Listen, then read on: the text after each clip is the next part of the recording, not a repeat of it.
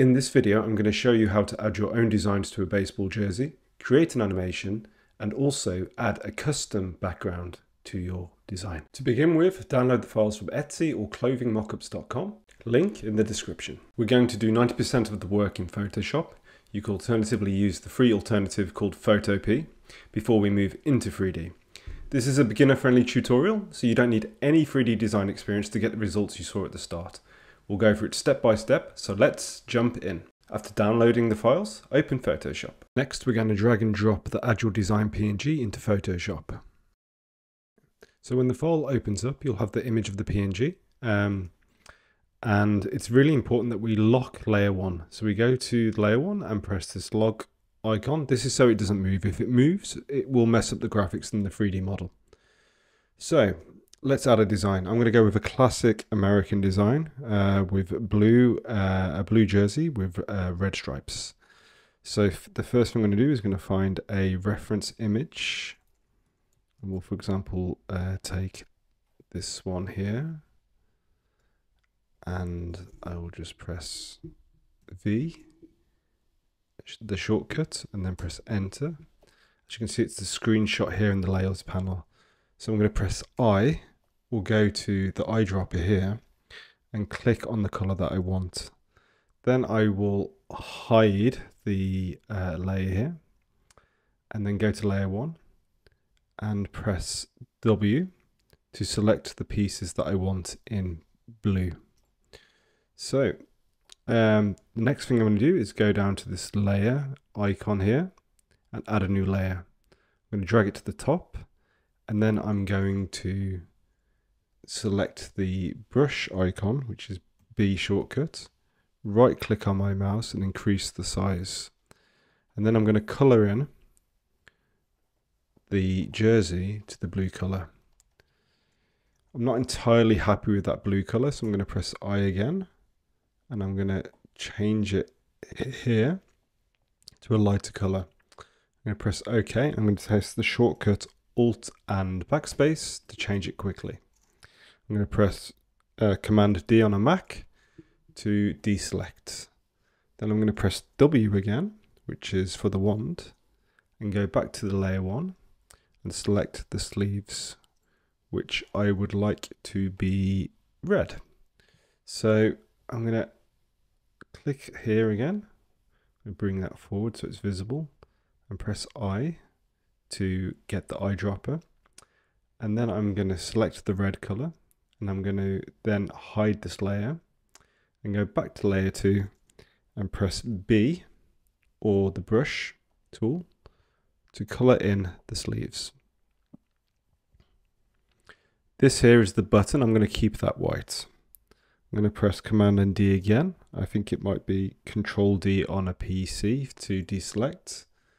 And then I'm going to click the reg, uh, rectangular marquee tool here, which is also M on the shortcut. And then what I'm going to do is gonna, I'm going to create a thin line here.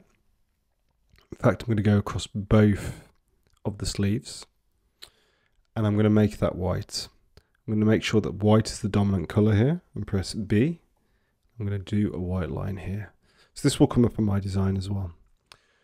Right, the next one we do is going to start adding logos. Uh, if you have uh, a local sports team that you're making your design for, you can start adding your logos um, here. I'm going to get some logos that I have from a previous design and I'm going to just quickly drag and drop them into the design.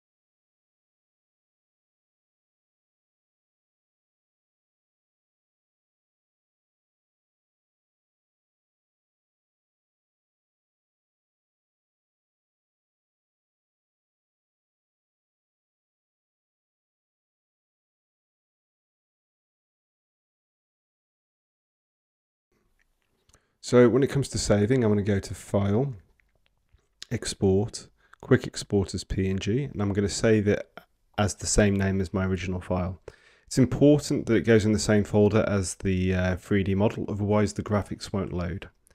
So press save, and I'm going to press replace. And then we're going to go into Blender. Blender is a completely free 3D software that we are going to use to add our 2D design to the 3D model. To download it, you go to download at blender.org and download Blender. Once you've downloaded it, we'll open up the file in 3D.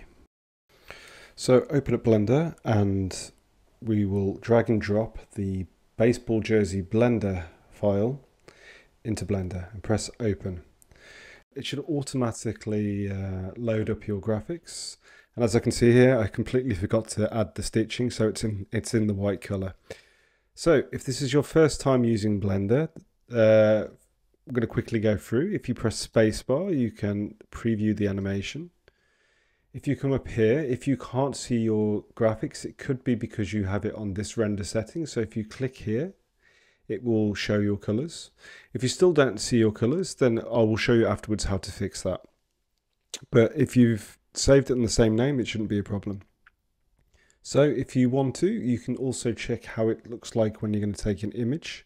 You can drag across here to preview where you want the image. And say, for example, you want to take this image, you go to render, render image. And then once it's loaded, you can go to image, save as, and I'm going to call it uh, render one. And I'm going to save it on my desktop. Press save. I can also make an animation. To do that, I have to go to this icon here called the output properties and then make sure that we save it somewhere that we can find it. In my case, I'm going to save my desktop and I'm going to call it Annie1. I'm going to press accept. And again, we just go to render, render animation. And now what it will do, it will render 250 frames at the bottom here. And once it's complete, you'll have a animation you can use for social media or for sending to the club that you designed for or for whatever you'd like. So I'll get back to you once it's finished with the results. So if your textures aren't loading properly, uh, what you need to do is select the baseball jersey and then go to um, shading and we have to make sure that the 2D file, the PNG, is saved in the same folder as the 3D, the 3D file. Once that's done, we're going to go to Open in Image Texture, locate the folder, uh, find the find the file, and Open Image, and that should solve your issue. If we want to change the background color, we click on the background and then we click on the materials tab make sure background is selected and then we can change the color by selecting the color that we want. In this case I'm going to go with blue. We have to make sure that we have this render setting set on the viewport shading and then we go to the emission and press zero. So that is how you quickly change the color so if you want to add a custom image to your background, select the background, make sure in the materials tab and go to the base color here and click on image texture. Then we're going to go to open and I've saved an image in the same folder called Blue Lightning. I'm going to open that and then you have your image. If you want to scale it down, you make sure you select the, um, the background press S on your keyboard and drag across until you have a size that you think works for your image. And that's it. I hope you enjoyed this video. Uh, please leave a like and a subscribe. It really helps grow the channel. Um, yeah, and uh, see you in the next one. Bye.